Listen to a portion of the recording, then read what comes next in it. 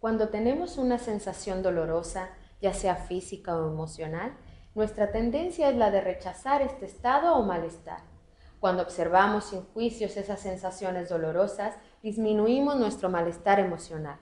Al ser conscientes de la impermanencia y transitoriedad de todos los fenómenos que ocurren en tu mente, como los pensamientos, sensaciones y las propias emociones, te permiten una mayor apertura experiencial y libertad en la toma de decisiones. Con el paso del tiempo y de la práctica continua se afianza tu atención.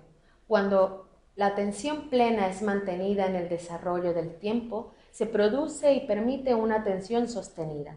Ahora, en lugar de evitar o rechazar tus estados emocionales, etiquetados como negativos, con la práctica de la atención plena desarrollarás con mayor fluidez el soltar o, o desprenderte de los mismos a través de la propia aceptación.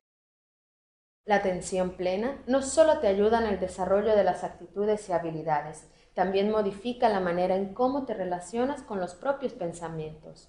Cuando eres consciente tanto del pensamiento y de la manera en que podría afectar tu vida, cuando te apegas a ellos, te permite ganar libertad frente a los mismos. La observación constante de los pensamientos, sensaciones y emociones, desde el prisma de la atención plena, se da como resultado la mejora de la propia observación.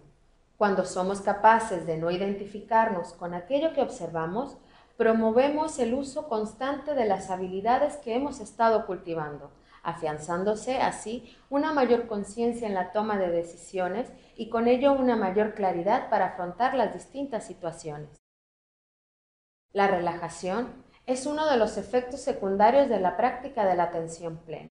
Sin embargo, aunque se produce, la práctica de la atención plena busca un estado de alerta y calma, en donde te involucras activamente con la realidad del presente. No olvides que observar tus estados emocionales sin juzgarlos, aceptarlos, te ayuda a ceder y dejarlos ir. A continuación, veremos el siguiente vídeo en donde el experto en mindfulness Vicente Simón nos introduce de qué manera mindfulness podría ayudarnos en la relación con las emociones.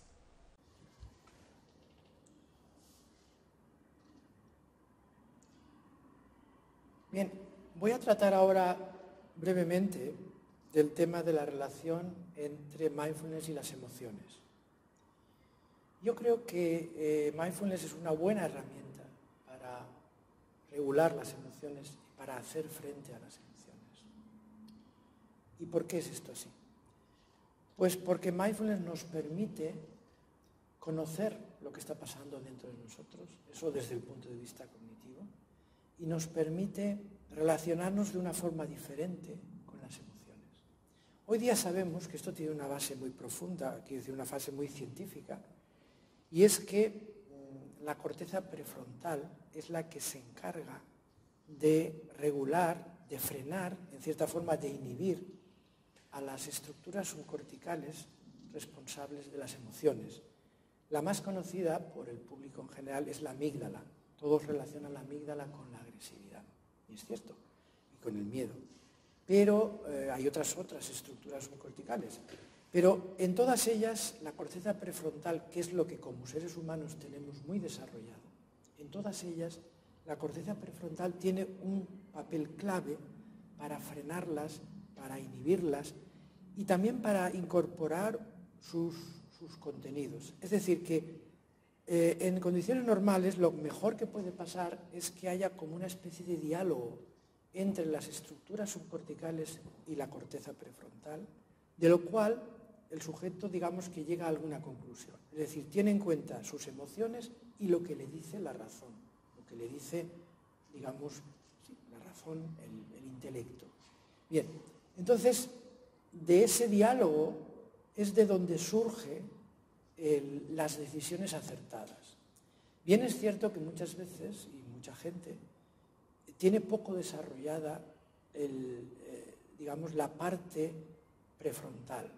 Y entonces lo que sucede es que las emociones toman el control y entonces reacciona, digamos, sin pensar, sin, filtro, sin filtro de la corteza prefrontal.